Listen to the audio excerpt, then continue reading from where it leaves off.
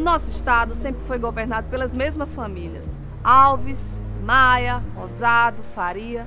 Ora eles estão juntos, ora eles estão separados. Mas não mudam nada. O povo continua abandonado no corredor do Valfredo e sofrendo com a seca. Vamos continuar mais quatro anos sendo governados por essa gente? As eleições estão chegando. Nós que trabalhamos o ano inteiro, que vivemos dos nossos salários, que não temos creche para colocar nossos filhos, não podemos votar nos candidatos dos ricos e de suas famílias. Henrique e Robson não governarão para você, governarão para as empresas que os financiaram. Não anule o voto, nem vote nos candidatos dos ricos. Proteste. Vote nos candidatos do PSTU. Vote 16.